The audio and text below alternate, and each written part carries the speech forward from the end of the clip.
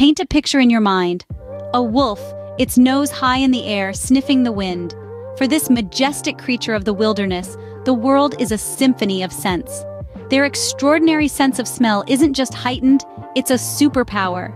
Picture a scent trail, a fragrance map invisible to us, but a vivid guide for the wolf.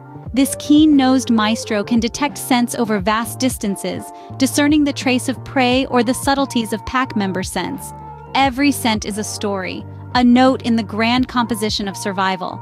Imagine the wolf navigating the landscape, following scent trails through the dense tapestry of nature. This is the remarkable role their acute sense of smell plays in the theater of the wild. What a fascinating world, isn't it?